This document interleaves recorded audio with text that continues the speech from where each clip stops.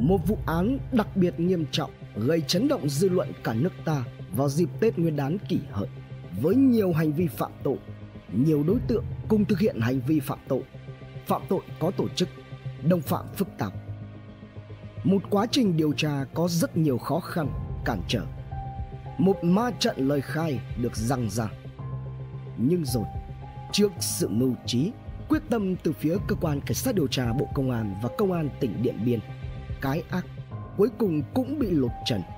Những kẻ mất tính người đã phải trả giá cho những hành vi phạm tội của mình. Một vụ án đã đi vào lịch sử tố tụng với những tình tiết ly kỳ vô tiền khoáng hậu, với những ám ảnh lẫn nỗi đau xót, kinh hoàng không thể diễn tả thành lời, cùng nhiều bài học đắt giá. Hãy cùng Độc Thám TV đi sâu vào tìm hiểu vụ án này. Mất Điện Biên là một tỉnh miền núi biên giới thuộc vùng Tây Bắc nước ta, cách thủ đô Hà Nội gần 500 km về phía Tây, phía Bắc giáp tỉnh Lai Châu, phía Đông và Đông Bắc giáp tỉnh Sơn La, phía Tây Bắc giáp tỉnh Vân Nam, Trung Quốc, còn phía Tây và Tây Nam giáp với nước Cộng hòa Dân chủ Nhân dân Lào. Tỉnh có thành phố trực thuộc là thành phố Điện Biên Phủ. Tỉnh Điện Biên có lợi thế lớn về tiềm năng đất đai, phát triển thủy điện, trên địa bàn tỉnh còn có rất nhiều di tích lịch sử có giá trị văn hóa, du lịch cao, đặc biệt là di tích Điện Biên Phủ và nhiều danh lam thắng cảnh. Bên cạnh đó, tỉnh Điện Biên còn có đường biên giới chung với nước Cộng hòa Dân chủ Nhân dân Lào và Trung Quốc. Tại đây có các cửa khẩu Tây Trang, cửa khẩu Pa Thơm, cửa khẩu Mường Lói, cửa khẩu Apa Chải. Thế nhưng cũng tại mảnh đất này, trong những ngày đầu xuân kỷ hợi, một sự kiện kinh hoàng đau lòng gây rúng động dư luận đã xảy ra. Ngày mùng 4 tháng 2 2019, tức ngày 30 Tết kỷ hợi, có hai mẹ con bà chủ một sạp hàng ở khu vực chợ Mường Thanh, phường Mường Thanh, thành phố Điện Biên Phủ đang tất bật, đôn đáo giữa dòng người đông đúc. Ai cũng hối hả sắm Tết, chuẩn bị mâm cơm cúng đón giao thừa. Lại càng vất vả hơn nữa khi mà sạp hàng này là sạp buôn bán gà thứ khó có thể thiếu trong phong tục tập quán ta. Trong buổi chiều hôm đó, vào lúc khoảng 16 giờ, có một người đàn ông lạ mặt, không phải là người hay đến khu chợ này, đầu cỡ chừng 36 đến 38 tuổi, cao khoảng 1m60, đi xe máy loại xe tay ga đã cũ tới một sạp gà ngay sát sạp gà của hai mẹ con nọ và mua bốn con gà trong đó thì mang hai con về còn hai con thì nhờ luôn người bán mang đi mổ hộ trong lúc mà người bán mang gà đi mổ. Người đàn ông này quay sang sạp hàng của hai mẹ con. Dù tất bật, hai mẹ con bà chủ vẫn rất niềm nở. Ông khách nhìn qua một lượt, dừng lại ánh mắt nơi cô con gái trẻ đẹp. Lần là nói chuyện rồi hỏi số điện thoại của cô con gái. Sau khi người đàn ông lạ mặt này rời khỏi sạp gà, đến chiều muộn, khoảng 18 giờ 40 phút cùng ngày cô gái nhận được điện thoại từ người này gọi tới nói rằng đặt mua 10 con gà và yêu cầu cô đi giao hàng tới khu vực chợ C13, phường Thanh Trường, thành phố Điện Biên Phủ để anh ta đem đi biếu xếp. Nhận được đơn đặt hàng lớn vào đúng chiều 30 Tết. Ngỡ tưởng đó là sự may mắn. Nhưng ai nào ngờ rằng một âm mưu đen tối đang chờ sẵn ở phía trước. Nhanh thoăn thoắt chỉ thoáng chốc. Vào lúc 19 giờ, cô con gái của bà chủ hàng gà mặc chiếc áo khoác dạ màu trắng sữa, quần dài nỉ màu tối dây da đen, đế trắng, đi xe máy hiệu Way LX biển số 27H7407 đã giao hàng tới điểm hẹn. Nhưng thay vì 10 con gà mang đi như khách đặt, cô gái chở hàng mang dao là hai lồng gà, bên trong có 13 con gà. Vì khi đi, tại sạp gà còn lại ba con chưa bán hết, nên cô mang theo luôn. Lạ thay, khi tới nơi nhưng lại chẳng có ai ra nhận hàng.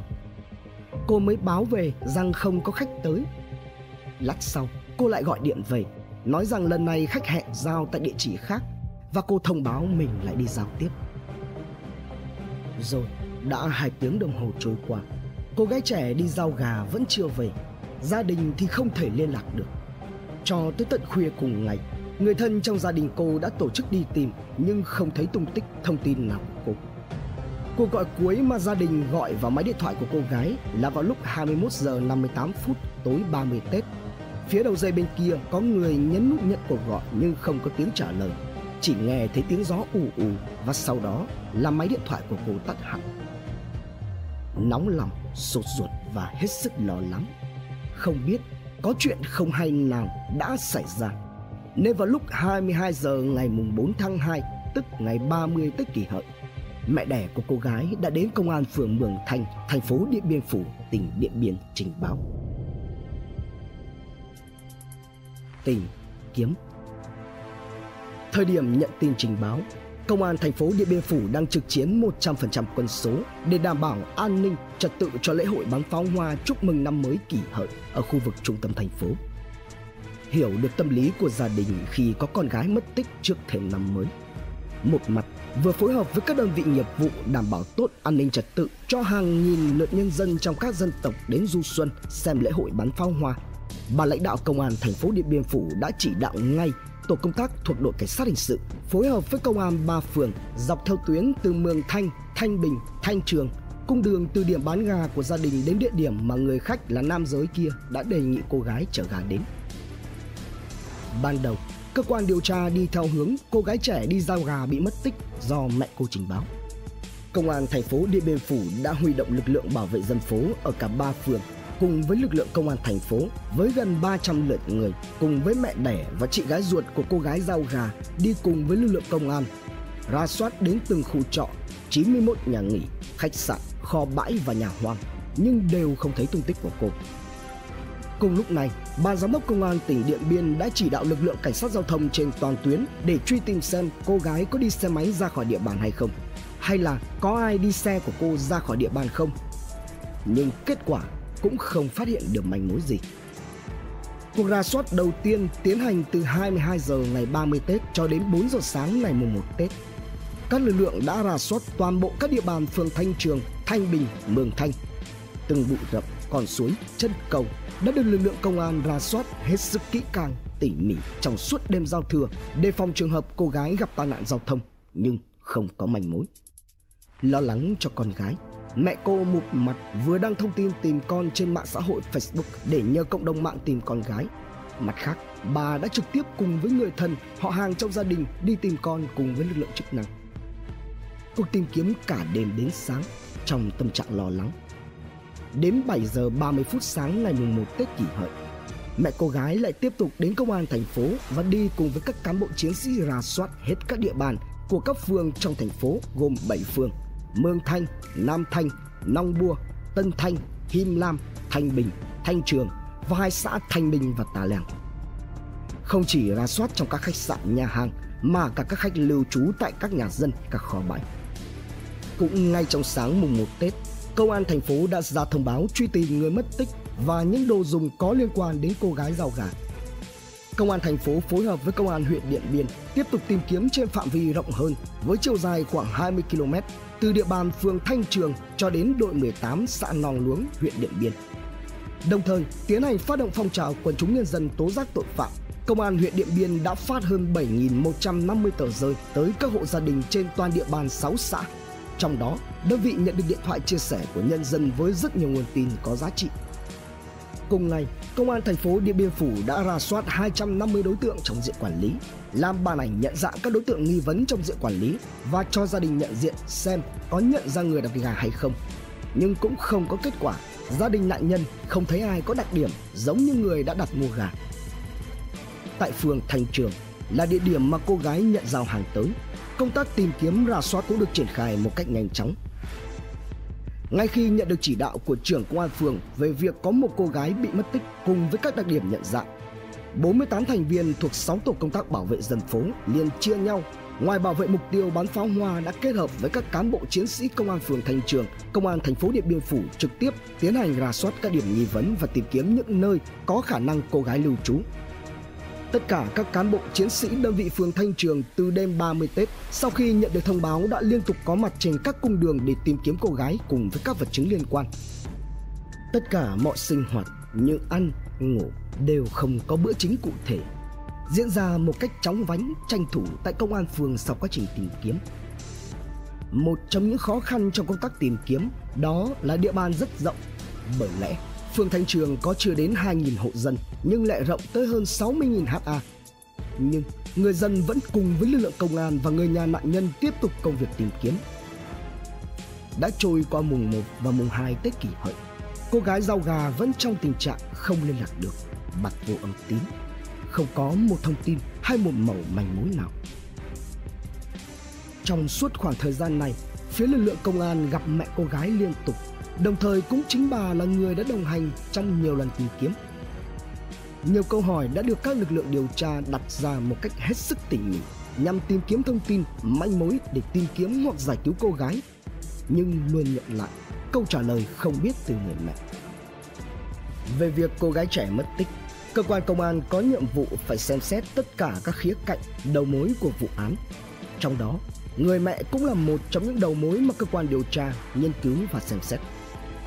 Trên thực tế thì chính mẹ cô gái giao gà mất tích này lại là người bị nhân dân phản ánh rằng chỉ làm nông mà gần đây có nhiều biểu hiện đáng ngờ như làm ăn phức tạp, có nguồn tài sản tiền bạc bất thường. Và cũng chính diễn biến ban đầu của vụ việc cô gái trẻ giao gà mất tích tính tới thời điểm người mẹ đến trình báo tại cơ quan công an cũng là do người mẹ thuật lại. Người đàn ông lạ mặt Trong quá trình tìm kiếm cô gái giao gà mất tích một trong những thông tin được tập trung đó là xác minh về tình tiết người đàn ông lạ mặt đã mua gà của gia đình nạn nhân. Chân dung đối tượng được tạm dựng lên. Đó là một đối tượng nam giới, độ tuổi trong khoảng 36 đến 38 tuổi, đi xe tay ga màu trắng loại cũ, có tổ chức cuộc nhậu vào chiều 30 Tết. Tuy nhiên, việc tìm kiếm ngày càng khó khăn khi mà điện thoại của người đàn ông đặt gà kia và điện thoại của cô gái đều đã tắt. Gia đình cũng không có một chút manh mối gì về người đàn ông đã đặt mua gà. Ngoài huy động lực lượng phòng cảnh sát hình sự, công an thành phố Điện Biên Phủ, công an huyện Điện Biên, lực lượng bảo vệ dân phố, dân phòng vào cuộc tìm kiếm thì lực lượng công an đã tiến hành các biện pháp phát động phong trào quần chúng nhân dân để tìm ra manh mối với người đàn ông lạ mặt này.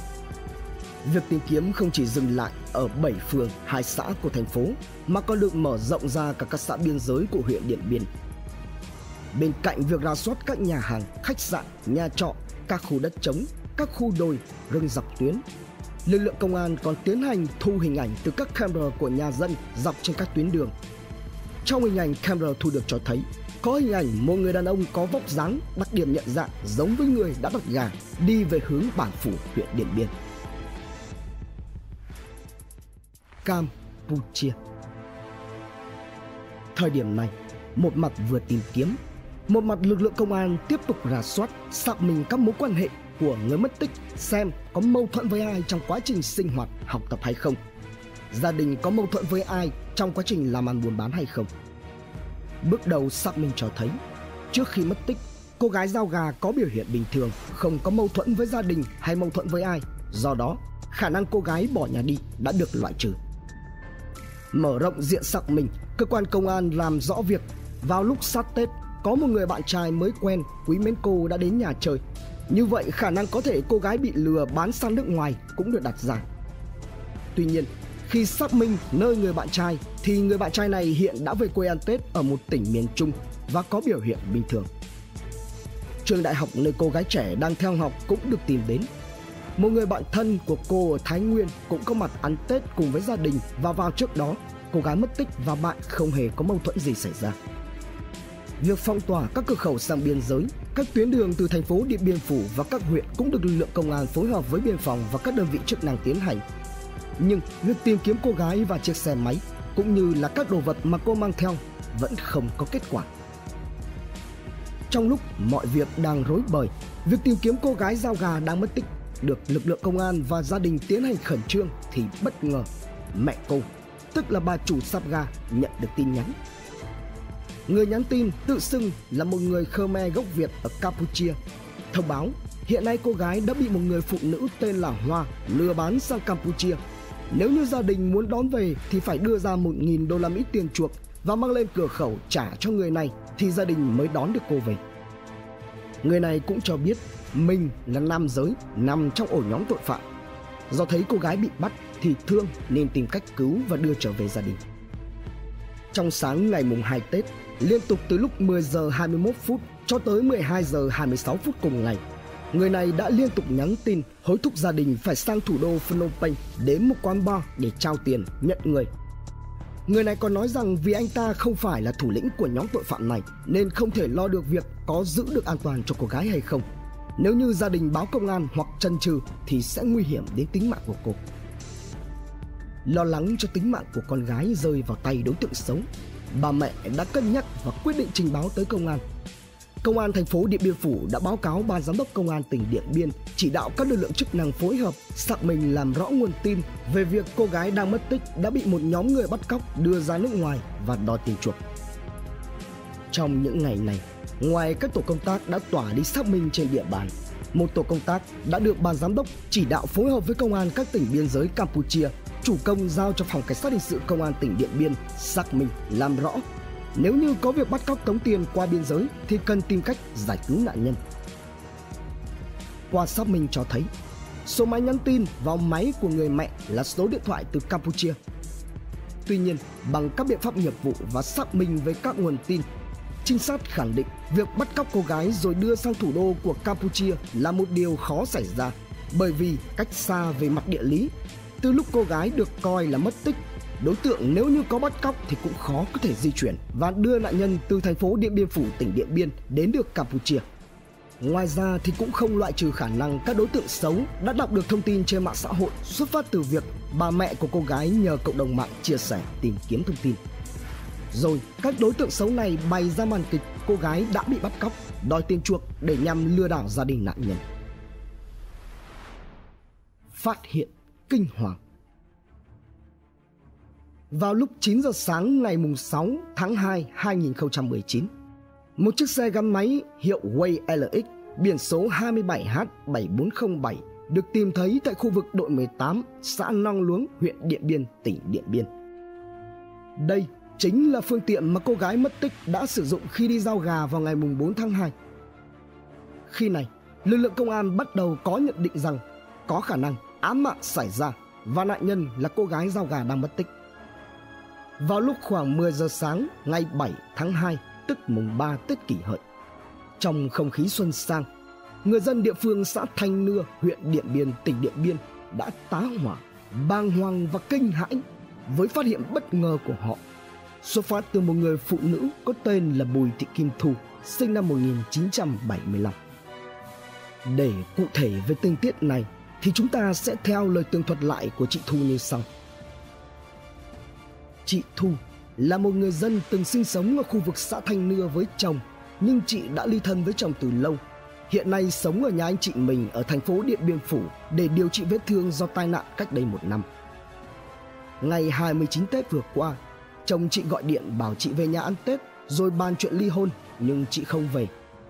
Tới ngày mùng 3 Tết, chị Thu về lại xã này để thăm hỏi chúc Tết bà con lối xóm. Khi đi ngang qua ngôi nhà bỏ không của cô em gái chồng mua cách đây đã hơn một năm nhưng chưa chuyển tới ở tại đội 11 xã Thành Nưa, cách đường quốc lộ 12 khoảng 50 mét thì không rõ vì sao chị Thu lại có linh cảm và muốn đi vào đó bởi vì bình thường các nhà này không có ai sinh hoạt sống tại đây và nơi đây cũng khá vắng vẻ nên chị sợ. Khi đi vào căn nhà, chị Thu đi một mạch thẳng tới khu vực chuồng chăn nuôi lợn. Chị vô cùng sợ hãi khi ập vào mắt chị tại đây là một cô gái nằm im trong trạng thái nằm ngửa, mặt có úp chiếc mũ bảo hiểm và không mặc quần dài. Quá khiếp hãi, chị thu không dám chạm vào nên đã lấy que khều thử, nhưng không thấy cô gái này động đậy hay có động tĩnh gì. Nghĩ rằng người này đã chết, chị hốt hoảng chạy về báo cho chồng là bùi văn công, chú xã thanh nưa và bà con hàng xóm khi này nghe chị thu thông báo phát hiện ra xác chết Chồng chị hoảng hốt, bàng hoàng, bảo chị đi báo công an, còn mình thì đi hô hoán mọi người tới. Và cũng từ sự kiện này, chị Thu được coi như là người hùng trong vụ án, với việc là người đầu tiên phát hiện ra thi thể nạn nhân. Quay trở lại thực tế, khi nhận được thông tin phát hiện ra người phụ nữ nằm im bất động nghi đã chết cơ quan cảnh sát điều tra công an tỉnh Điện Biên đã phối hợp với phòng kỹ thuật hình sự, viện kiểm sát nhân dân tỉnh Điện Biên, trung tâm pháp y tỉnh tiến hành khám nghiệm hiện trường, khám nghiệm tử thi và điều tra xác minh, xác định Thi thể nữ giới này trong tình trạng phân hủy. Tử thi nằm ngửa trên một lớp chấu dày khoảng 7 cm. Phần chấu phía dưới vai trái tử thi trượt ở phía trong 2 cm. Ngoài ra, toàn bộ các phần chấu khác phía dưới tiếp xúc xung quanh tử thi vẫn còn nguyên vẹn và không bị xê dịch. Về thi thể, phần trên mặc chiếc áo xám cổ cao dài tay, phần dưới chỉ có quần lót, có nhiều thương tích do vật cứng tác động. Trên đầu, tử thi đội mũ lưỡi chai màu đỏ bên trong và mũ bảo hiểm xanh bên ngoài. Tình trạng bị xô lệch che mất một phần mặt. Trên cả hai chiếc mũ có dính đất và chất màu nâu đã khô nghi máu. Trên cổ nạn nhân phát hiện có nhiều vết tím bầm, được cho là dấu hiệu nạn nhân đã bị bóp cổ, sát hại. Toàn bộ tài sản trên người cũng đã bị lấy đi. Trong lúc này, các tổ công tác vẫn tiếp tục rà soát tìm các vật chứng cũng như các manh mối có liên quan đến vụ án. Tới 11 giờ sáng cùng ngày, cơ quan chức năng thông báo tới gia đình bà chủ sạp ga rằng đã tìm được thi thể của con gái mất tích của họ. Địa điểm phát hiện ra thi thể cách địa điểm tìm thấy chiếc xe máy là khoảng 20 km. Tuy nhiên, một sự kiện lạ đã xảy ra. Từ khi phát hiện ra thi thể nạn nhân, thái độ của người mẹ có nhiều biểu hiện có vấn đề. Đặc biệt, khi đến nhận dạng thi thể con gái, bà mẹ đã khóc lóc rất thảm thiết nhưng ngay sau đó thì lại bình tĩnh để phát trực tiếp trên trang Facebook cá nhân quang cảnh hiện trường vụ án. Từ đây, một hướng đi bí mật đã được tổ chức. Đó là việc giám đốc công an Điện Biên đã cho các trinh sát mặc thường phục ngụy trang theo dõi chính người mẹ của nạn nhân. Danh tính Danh tính thi thể nhanh chóng được xác định chính là cô gái giao gà mất tích Tên đầy đủ là Cao Mỹ Duyên, sinh năm 1997, trú tại đội 5, xã Thanh Hưng, huyện Điện Biên, tỉnh Điện Biên. Duyên là con gái thứ hai trong một gia đình có hai người con. Trong dịp Tết kỷ hợi này, Duyên về nhà phụ giúp gia đình bán hàng. Chị gái của Duyên là Loan, sinh năm 1994, từng theo học tại trường Đại học Nông lâm Thái Nguyên và là một sinh viên rất cố gắng phấn đấu trong học tập bà chủ sạp gà tức mẹ đẻ của Duyên có tên là Trần Thị Hiền, sinh năm 1975, trú tại đội 5 xã Thanh Hưng, huyện Điện Biên, tỉnh Điện Biên. Bố của Duyên là ông Cao Văn Hường, sinh năm 1970, chủ nhân chiếc xe máy mà Duyên đã sử dụng để đi giao gà. Gia đình nhà ông Hường thì vốn có nghề làm long nhãn và buôn bán gà, hoa quả. Bản thân ông Hường là người nghiện ma túy trong diện quản lý Nạn nhân Cao Mỹ Duyên là sinh viên năm cuối khoa quản lý tài nguyên Đại học Nông lâm Thái Nguyên. Cô là một sinh viên ngoan ngoãn, học lực khá và hay tham gia các hoạt động ngoại khóa của trường, lớp. Thời điểm nghỉ Tết Nguyên đán kỷ hợi, Duyên đã hoàn thành chương trình học đại học của mình và đang trong thời gian chờ thi tốt nghiệp và nhận bằng. Sự việc xảy ra quá thương tâm. Thầy cô và bạn bè của Duyên vô cùng xót xa, đau đớn. Cô Vũ Thanh Thủy trưởng khoa quản lý tài nguyên Đại học Nông lâm Thái Nguyên cho biết rằng chưa bao giờ cô chứng kiến một sự việc đau lòng như thế này. Cô Thủy chia sẻ, đợt vừa rồi Duyên mới đi thực tập về, em chỉ còn mấy môn nữa trước khi bảo vệ khóa luận tốt nghiệp vào tháng 5 tới. Chúng tôi nhận được tin vào ngày mùng 3 Tết và đã tổ chức các đoàn thăm viếng, chia sẻ mất mát với gia đình em. Chúng tôi luôn theo dõi sát sao sự việc dù bất kể là thông tin nhỏ nhặt nhất. Em Duyên có nguyện vọng sau khi tốt nghiệp sẽ về Điện Biên xin việc để được gần với gia đình. Quá xót xa vì em còn quá trẻ. Chúng tôi hy vọng công an sẽ sớm tìm ra hung thủ, xoa dịu phần nào đau thương của em. Lãnh đạo Ủy ban nhân dân xã thành Hưng cho biết, gia đình Duyên thuộc diện kinh tế ổn định ở địa phương. Trước khi mất tích, người thân không thấy Duyên có biểu hiện gì khác thường, cũng không có mâu thuẫn với ai.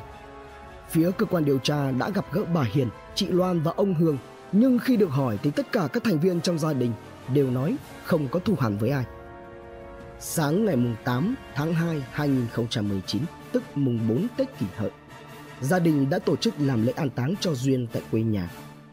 Hàng trăm người đã đến chia buồn đưa tiễn cô. Cuối cùng thì cô gái trẻ giao gà mất tích ngày 30 Tết kỷ hợi đã được tìm thấy.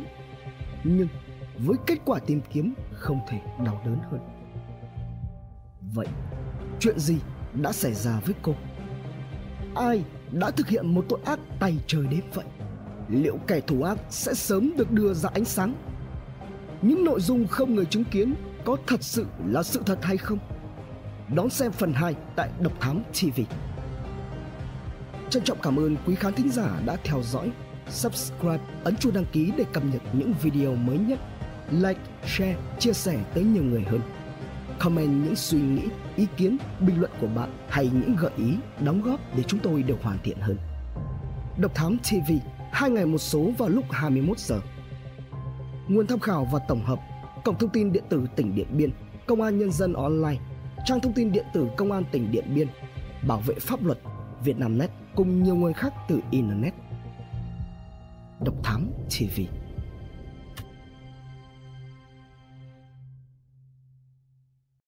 Hành trình khám phá những vụ án kinh điển và bí ẩn cùng Độc Thám TV Những quần khúc chưa lời giải Những âm mưu chưa từng hé lộ những sự thật đang bị che giấu. Tất cả sẽ có tại Độc Thám TV.